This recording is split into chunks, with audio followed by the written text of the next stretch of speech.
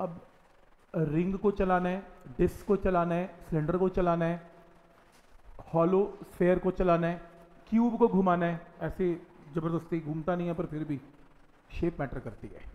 Shape matter करती है। हर कोई एक जैसा नहीं घूम सकता। तो इसलिए अब हम शेप को पहली बार स्टडी करने जा रहे हैं प्लस वन में। आज तक जितने भी क्वेश्चन हमने किए, वो पॉइंट मास के हैं।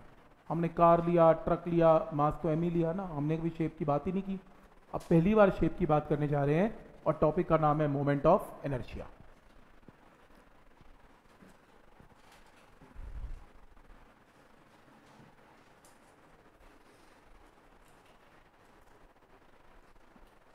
और ये क्वेश्चन एक बुकलेट के अंदर ये शीट नंबर है 68 68 में सर्कुलर के अंदर भी ये क्वेश्चन हमने किया था, मुझे याद आ रहा है। बहुत आता होता है ये डाउट भी लोग पूछते हैं, इसको भी बता देख लो एक बार। तो इसके अंदर जैसे body cover theta one in radians in two second और नेक्स्ट टू सेकेंड में body cover extra angle theta two तो रेशियो निकालो और बॉडी रेस्ट से स्टार्ट हुई। तो ऐसे क्वेश्चन पहले भी किए हैं।